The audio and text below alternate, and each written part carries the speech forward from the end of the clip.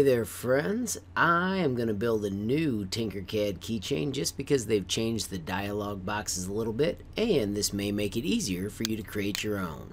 So first things, sign into Tinkercad. With anything you create, let's name it first. I'm going to put uh, keychain, I'm going to put my initials, and just because I've done this a billion times, I'm going to put a 2017 after it. Every keychain that we build starts with a box, or it could be a cylinder, but these are going to be box keychains. And then I highly recommend you just click on the corner, click on the number, make the first one 70 and press enter, click on the second number and make it 25 and press enter. And then they need to be 2 millimeters thick.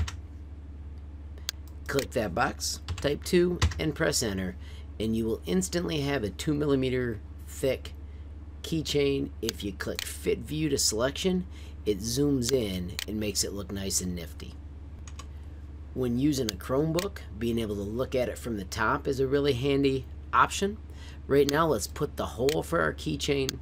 When you bring that hole out, just set it down and use the same trick to make it 5 millimeters and 5 millimeters and then I recommend moving it with the arrow keys. So I'm just holding the arrow keys down and nudging it to the corner of my keychain.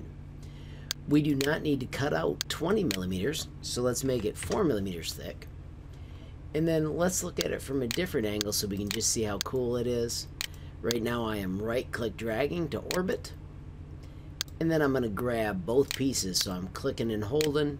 Notice it says two shapes, and because that was a hole, when I group it, it cuts it out.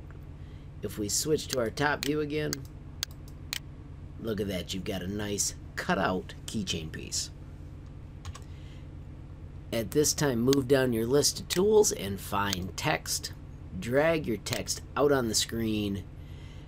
Click on that first bump, and I'm going to zoom out so I can see it better. And I want to make it 1.5 millimeters thick. I want to make it a hole and then I wanted to say something cool.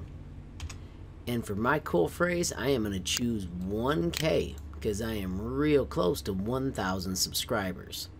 And then I want to grab this handle and I want to lift it up 0.5 millimeters.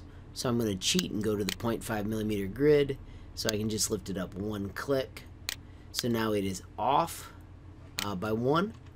And then when I move it into my shape, notice it lines up just beautiful I'm going to push it to the left edge. I'm going to select both of those. And this one I want to be aligned. So when I click that, I am going to align it to the center. That just makes it look more clean. Select them again. Notice it says two shapes and I'm going to group it so it cuts out my 1K. And then I've got a little bit of space, so I'm going to do one more cool thing. I'm going to bring out the heart I'm going to do the same thing by making it 1.5 millimeters thick. I am going to turn it into a hole.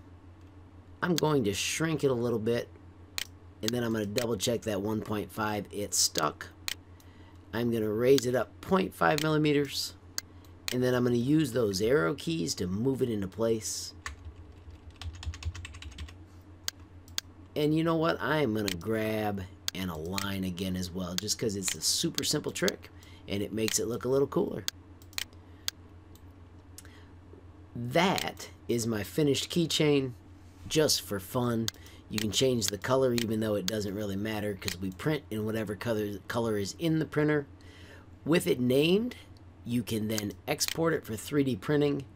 We want the selected shape and we want to download it as an STL.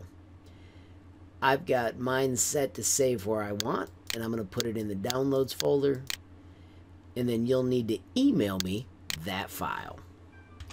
If you want to just show me what you built, you can also invite me by clicking on invite, generate a link, and then copy that link and email it to Harmon M.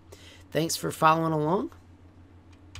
I'm anxious to hear about your cool creations, and if you've got a second, please take time to subscribe, comment, and share the cool things you've done. Thanks for watching.